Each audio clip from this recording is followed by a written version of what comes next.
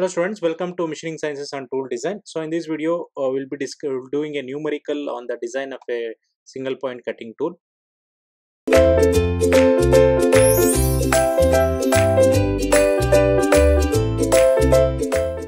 So we'll design one of the single point cutting tool. So design a uh, HSS cutting tool to machine mild steel workpiece in a lathe. So we are doing a machining of mild steel using a HSS so now we need to design the cutting tool. So that is single point cutting tool. So BHN of a material for HSS is given as uh, 200 kg per mm square and the back rake angle, side rake angle and side cutting edging angle for HSS tool is given as 10 degree, 12 degree and 45 degree respectively. And then dynamic shear stress uh, of mild steel can be calculated using tau s will be equal to 0.186 BHN kg per mm square. So that is 0.186 times of BHN number. And then ultimate tensile strength of HSS is 1000 Newton per mm square. And the factor of safety for uh, rough machining is 10. And shank of the tool section is uh, square. That is, it's a square cross section. And then tool overhang is around 30 mm. So the chip reduction coefficient is 2.5 for rough machining. So here there is a calculation shown for the same the conversion of tool angles from ASA system to ORS so which we have already discussed that is if you want to convert uh, it from one tool angles from one system to other system you can do this using a particular relations so tan gamma naught uh, which is required for the calculation of forces uh, which is obtained by tan gamma y cos phi plus gam tan gamma x sine phi. So where gamma y is 10, so which is given in the data, cos phi is 45, gamma x is 12. So that is, uh, if you go back, you can see here the back rake angle and the side rake angle is given. So that is what we are substituting here. That is uh, back rake angle is 10 and the side rake angle is uh, 12 and then uh, phi is given as a 45 which you are substituting and you are able to find out gamma naught and then dynamic shear stress of the mild steel is tau s which is 0.186 times of bhn uh, so we know bhn number that is uh, 200 so if you substitute you will be able to get 372 newton per mm square.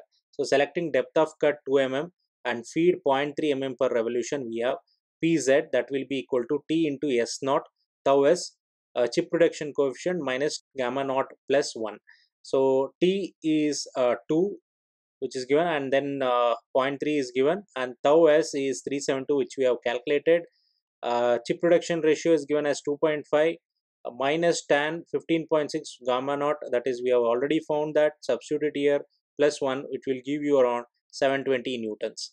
And then px that is force in x direction is given by ts naught uh, gamma s tau minus gam tan gamma naught minus minus 1 so instead of plus 1 it is minus 1 into sine phi. So if you substitute uh, t as 2 s naught as 0.372 chip reduction is uh, 2.5 gamma naught is 15.26 and phi is 45 will get 194 newton. So this is the forces in z and x direction. So this is required for the calculation of uh, deflection. So we know gamma will be equal to that is working stress will be ultimate stress by FOS. Ultimate stress is given as 1000 and FOS is given as 10. So that will be equal to uh, sigma 1 plus sigma 2. Uh, sigma 1 is given by 6 PZ LEBH square and uh, sigma 2 that is stress in these are two principal stresses stress in x z and uh, x direction that is given by 6 px le by h b cube. So if it is as it is a square cross section, B will be equal to H. LE is given as 30 mm, which you can check. Uh, so if you substitute it here, so uh, this is 1000, that is the 1000 by 10 is uh, 100. So you can substitute that sigma here, 100, which will be equal to sigma 1 plus sigma 2. So that will be equal to 6 PZ. PZ we have found it is 720. LE is 30, which is given uh, as b is equal to h so you can substitute as b cube and uh, px is uh, 194 which you can substitute and le is given as 30 and b is equal to s so it is b cube. So by this you can find out what is the b value which is 11.805 mm so the nearest cross section value for this is around 12 mm so it is approximately 12 so you can take it as 12 so as it is a square cross section it is 12 into 12 so now we have arrived at the cross section. Now we need to find out what is the deflection which is produced by uh, by this load. So as we have already discussed delta will be equal to 4 pz le cube by ebh cube. So 4 times of pz is 720 le is uh, 30 that is 30 cube. So it, this one is wrongly written. So this is 30 cube.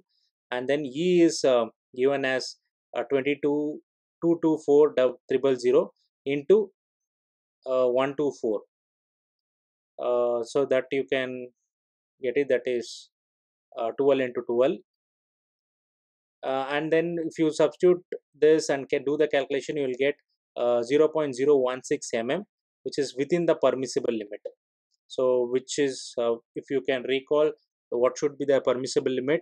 It should be within uh, 0.04 uh, mm for uh, roughing operation and 0.1 mm for finishing operation. So as you can see this is less than this value which you have got is less than this value so which is within the permissible limit. So the power consumed is usually given by force into velocity. So if you substitute pz into velocity cutting velocity so you'll get 720 that will be equal to 50 by 60 uh, so that will be equal to 0.6 kilowatts. So this is the power consumption and this is the deflection and this is the dimension of the cutting tool. So this is about how to design a single point cutting tool. Thank you